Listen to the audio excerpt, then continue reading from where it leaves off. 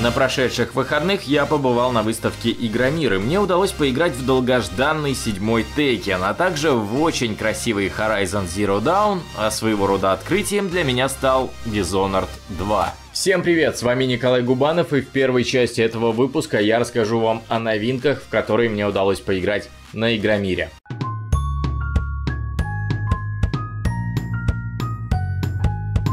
Начнем с самой странной штуки, к которой почему-то выстроилась огромная очередь. Это что-то непонятное по мотивам Tomb Raider для PlayStation VR. Спасибо огромное сотрудникам PlayStation, что пустили меня поиграть без очереди, потому что иначе я бы просто не пережил впустую потраченного времени. Это скорее какая-то технодемка, а не игра. В ней можно телепортировать Лару в разные места особняка и смотреть вокруг.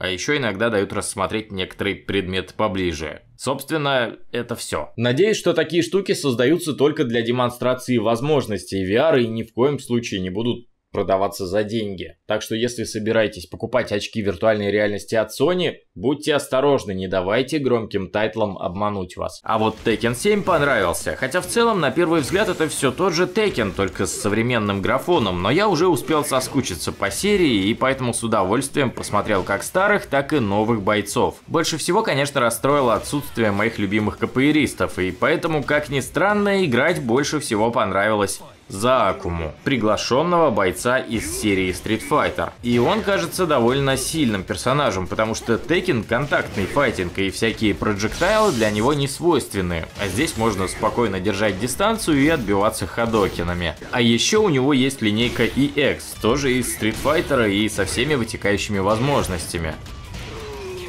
Релиз ожидается в начале следующего года.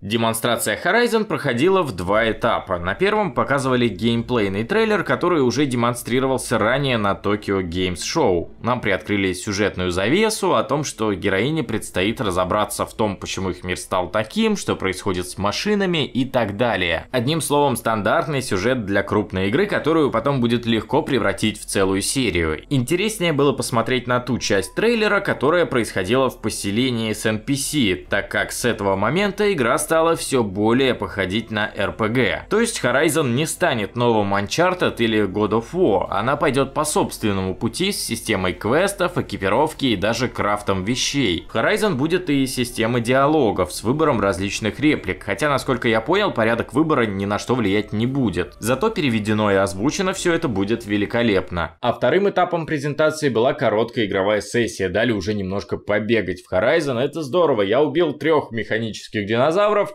и дальше 10 минут гонял механических же быков, потому что я затупил. Я думал, чтобы залезть на быка, нужно его оглушить сначала из лука.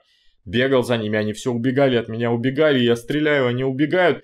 И только в конце уже, когда меня практически оттаскивали от контроллера, я понял, что надо незаметно подкрасться, и все, и запрыгнуть, и все, можно верхом стрелять, скакать на быке. О, я могу ножками его хоп-хоп-хоп, и такой скачу, Серии Tales of уже более 20 лет, и по этому случаю Bandai Namco показывала журналистам новинку Tales of Berseria, которая с августа доступна в Японии, а в Европе и США появится только в начале следующего года. Серия прошла очень долгий путь и на данный момент напоминает интерактивное аниме с красивыми рисованными вставками. В боях появилось много экшена и система комбо. Иными словами, любителям необычных японских RPG определенно должно должно понравиться. Dishonored 2, игра, на которую я обратил внимание буквально в последний момент и уже успел пожалеть, что пропустил первую часть.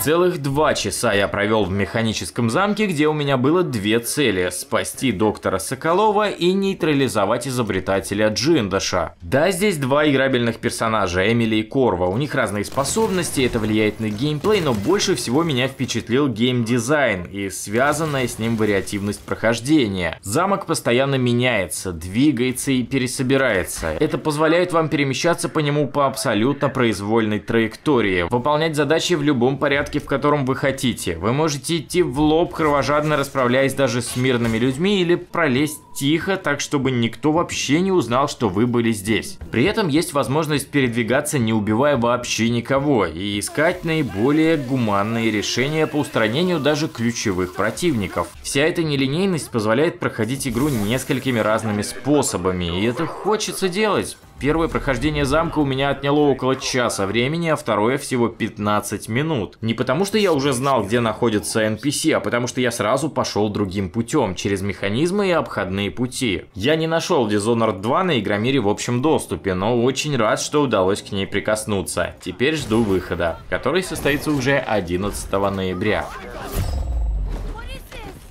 Не все, что мне хотелось, конечно, удалось посмотреть. Например, на Resident Evil 7 VR я так и не попал. Так что пишите свои впечатления о новинках Игромира в комментариях, а я перехожу к другим игровым новостям прошедшей недели. Французское отделение Microsoft решили с шиком отметить выход Forza Horizon 3. Они разыграют в своей стране лимитированную версию Xbox One S в форме передней части автомобиля Mustang копилке консоли уже есть модификации в форме Audi R8 и Lamborghini Centenario. Студия DICE показала сюжетный ролик Battlefield 1. Одиночная кампания будет рассказывать про несколько персонажей, у каждого из которых своя история этой войны. Очень странно в трейлере смотрится девушка с татуировками на лице, да и вообще военные действия слабо похожи на то, что мы знаем о Первой мировой войне. Но выглядит очень красиво. Геймдизайнер Beyond Good and Evil Мишель Ансель на прошлой неделе завел Инстаграм и выкладывал туда картинки, которые многим напоминают об игре. И эти многие решили, что Мишель таким образом тизерит вторую часть. Хотелось бы верить, ведь глава Ubisoft уже говорил, что сиквел находится в разработке. Игромир в этом году был снова совмещен с Комик-Коном, и мой блог о нем и о том, как я вообще провел время на обеих выставках, вы сможете посмотреть на моем канале Pixel Devil, так что можете пока на него подписываться, ссылка есть в описании, и скоро это все выйдет. И в целом Комик-Кон в этом году был неплохим, но он все еще не дорос до каких-то мировых анонсов. Там больше про переводы комиксов, про старты продаж вот таких вот,